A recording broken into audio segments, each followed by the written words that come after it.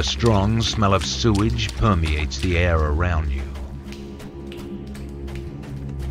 You hear human voices up ahead.